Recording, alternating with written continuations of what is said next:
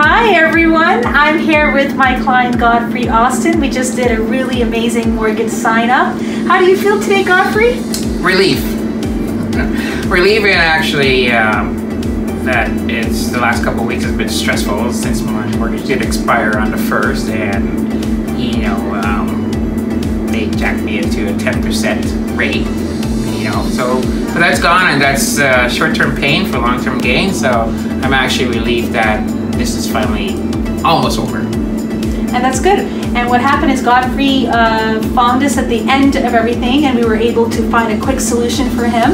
And uh, he's going to be moving into uh, a great mortgage product, and uh, he's going to be saving. How much are you going to be saving a month? Tell them. About two thousand dollars. About two thousand dollars a month. So it was really amazing chatting with you today, and I'm sure we're going to be doing more exchanges together. And uh, Godfrey, we wish you all the best, and uh, I'm happy that you feel relieved. I actually wish that I found you three months ago. Aw, well, you know it's never too late, absolutely, right? Absolutely. All right. Well, thank you, and no uh, problem. Godfrey's Austin, guys. thank you.